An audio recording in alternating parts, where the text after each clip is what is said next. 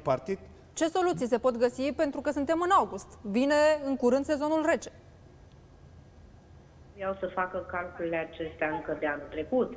Trebuiau să-i prindă începutul de an cu calcule făcute pentru lunile de iarnă din acest an.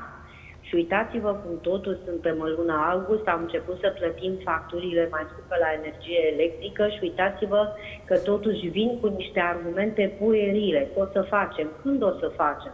Pentru că consumatorul care nu are cu ce să-și achite factura de energie electrică, la ce va fi pasibil? Să rămână la lumânare, să se încălzească și ce să facă?